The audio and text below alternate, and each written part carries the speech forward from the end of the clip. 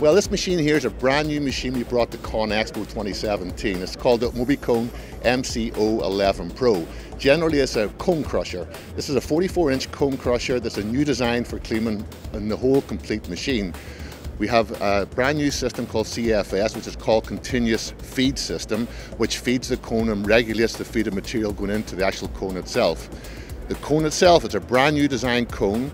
Instead of using backing to put the liners in, it's a, it's a machine fit and actually fits in very easily so the operators can change this liners in and out pretty quickly. We took this machine to tier 4 level, final level. The engine has now moved from the top section of the machine to the lower section and we've put all the electrics up in the top section where the engine used to be.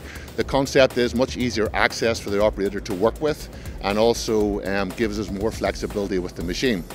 This machine is diesel electric, so the consumption is very low in fuel, but the big advantage is that you can run this from its own power source or plug it into main supply as well. Another highlight for ConExpo 2017 for us, not only is this cone, is the operating platform or the user interface that we actually put onto the cone. It's called Spective. And what that does, it allows the operator much easier use of the machine, better understand what's going on with the machine. It also allows the operator to fault code um, find and show him how to fix problems on the machine. I think the new technology our customers are starting to see on this equipment, they're impressed with. It's actually kind of cool to see the younger people um, really um, applying themselves to the new interface. And when they see this machine here, they're pretty impressed.